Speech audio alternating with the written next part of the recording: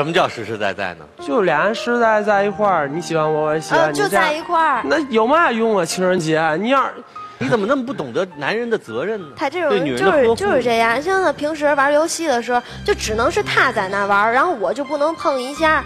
如果我玩一下的话，他就拿个臭袜子儿放你鼻子边上了，就你不能玩。哎呦我去，你们俩这小孩儿、小朋友，两位真。然后他晚上睡觉的时候他特别胆小，你知道吗？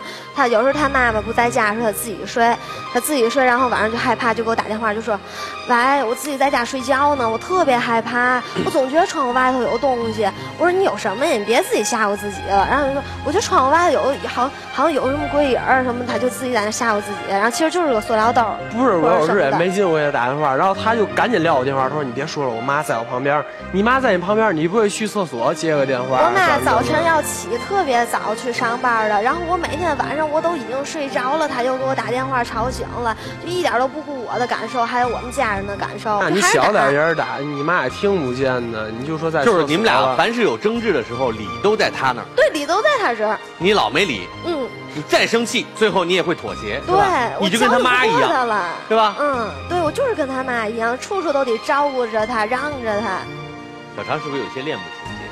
没有恋母情节，我觉得有，我没有。嗯，我觉那得我就像你有没有她妈妈，他就非要找个妈，你就特别愿意给他当妈。我不愿意。虽然说起来都是怨言，但是还挺高兴。没有，我也很希望有一个男人，就是处处都照顾着我，就像我照顾他一样。他就为了就是上电视好看啊什么的，演戏啊什么的，就经常还在家里头骗他妈，就说那个啊妈呀，那个我这上电视我得好看，我好看，我得整容，我整容完整完容，然后人家导演才能看上我，我上去才好看，哪儿动过了呀？没动哪儿都没动过。然后他就跟他妈说你打算说动哪儿啊？我打算哪儿都动鼻子、想动动眼，人得追求完美嘛。整容，妈妈也同意啊。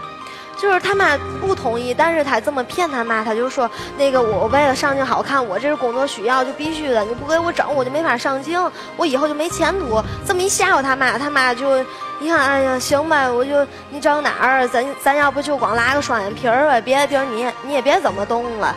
现在这种状态，你觉得跟他妈有没有关系？有关系，有特别大的关系。你像他在家，每天回来之后衣服就一脱，然后就告诉他妈，你赶紧把衣服都给我洗了吧。然后他妈就赶紧就把他衣服都给洗了。他都这么大了，还让他妈给他洗衣服呢，他妈也辛苦一天了。然后回来还得给他做饭，做完饭之后就是还得让我们俩先吃，然后之后剩下的他妈才吃。我觉得真的没有必要这样。我觉得他人不坏，挺好的，就是不懂事儿。如果他妈不这么溺爱着他的话，我觉得他是能够行的，把希望都放在他妈妈身上了，是吗？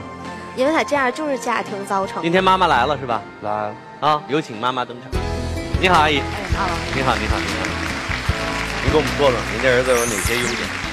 第一可爱，可爱、第二帅，帅、第三爱干净，爱干净。对，第四给我干家务，嗯，在家给我料理家务啊，凑合洗呀、都行。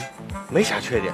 对呀、那刚才这个未来儿媳妇儿说的懒、嗯不负责任、嗯自私、嗯不浪漫嗯，啊，这些都存在吗？有的也存在自私，有时爱化妆，这严重吗？这些问题，自私不啊，不属于严重啊。不严重啊。所以在您儿在您眼中，儿子一百分值多少分？也就七十分儿。我看您那眼神中那份爱呀，不打一百二就算客气的了。但是他一个月自己挣的钱不够花是怎么回事？爱打扮。那除了他女朋友给他钱，您给吗？